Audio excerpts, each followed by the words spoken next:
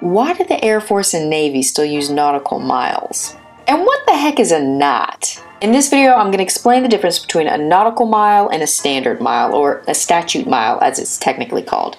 I'll explain why pilots and sailors still use nautical miles, and then I'll explain what a knot is as a measure of speed. I'm going to make this super simple, so let's get to it. To answer the question of what a nautical mile is, I'm going to have to bring you back to elementary school geography real quick. As you know, we separate the Earth on a grid of longitude and latitude. So you can think of longitude as going long, and latitude, you can think of it as moving up a ladder. So longitude rests on the vertical axis, and latitude rests on the horizontal axis. If you look at the center of the Earth, the latitude line that runs through it is called the equator, and at the equator, we call that zero degrees latitude. If we move north of the equator, we can go all the way up to 90 degrees north at the North Pole, and if we move south of the equator, we can move all the way down to 90 degrees south at the South Pole. The zero degree longitude line begins in Greenwich, England. Why Greenwich?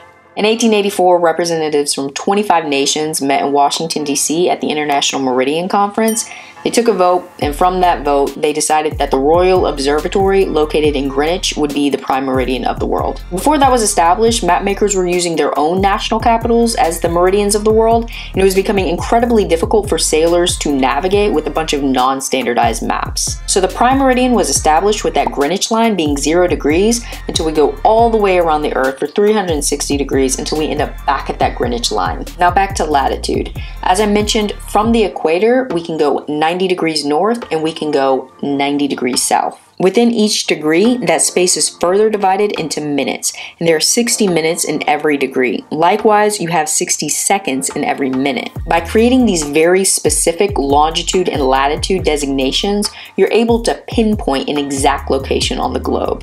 A nautical mile simply represents the distance in one minute of latitude, which ends up being 1.15 statute miles. So if someone ever tells you that they're traveling 10 nautical miles, you can simply do the math to understand that they're going 11.5 miles. But as you can see, since nautical miles are based off of exact measurements of degrees of the earth, and they take into account the curvature of the earth, nautical miles are a much more precise measurement of distance than statute miles. I mean, a standard a statute mile, the way that we got that dates back to the Roman times when they used to consider a mile to be a thousand paces, one pace being five Roman feet. Over time, the measure of a foot changed, which naturally changed the measure of a mile. So essentially, the standard mile is just a much more arbitrary measure of distance. But if I'm trying to be exact, if you have a ship out there in the middle of the ocean and they're calling a mayday and the Coast Guard has to go out and help them, the Coast Guard is going to need to know, no kidding, longitude and latitude, where are you located,